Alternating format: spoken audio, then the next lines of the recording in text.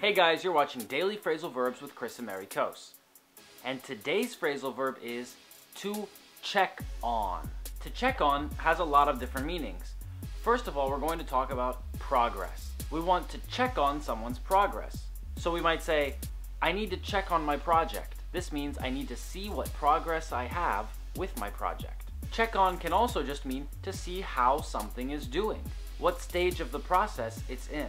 If someone is sick in the hospital, the nurse needs to check on him. This means she needs to see the condition of his health, or she needs to see how this process is going.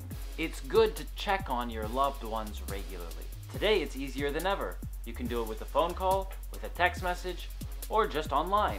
Thanks for watching Daily Phrasal Verbs with Kris Amerikos. Don't forget to press like, press subscribe, and leave a comment down below. I'll see you tomorrow.